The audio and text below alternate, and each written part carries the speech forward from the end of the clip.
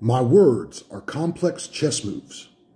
I am Alexander, playing a Sweet 16 game of Queen's Checkers, as Russian analysts might declare my approach to one board versus one board, forward planning and public disclosure as progressional orders towards certain victory.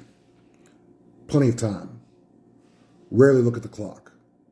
Sit and not move a single muscle for 12 minutes, 34 seconds, then move.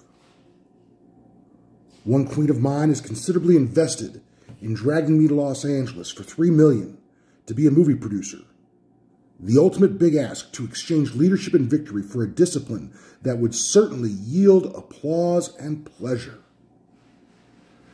I am an elite creative communicator. I would be a force of greatness as a writer, producer on a movie set.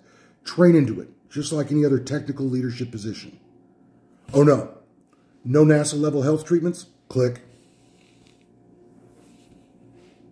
Alexander will entertain. I will engage the audience. I will enrage the port and starboard.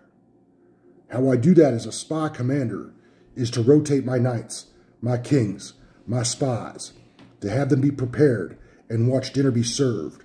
As I gnash upon my meal's third bite, I stand up, walk out, and declare the next level of orders to climb the mountain of logic and reasoning to control castles of technology. Entertainment is domination of time and attention. Attention is training. Time is valuable. Domination is success. Entertainment generates victory.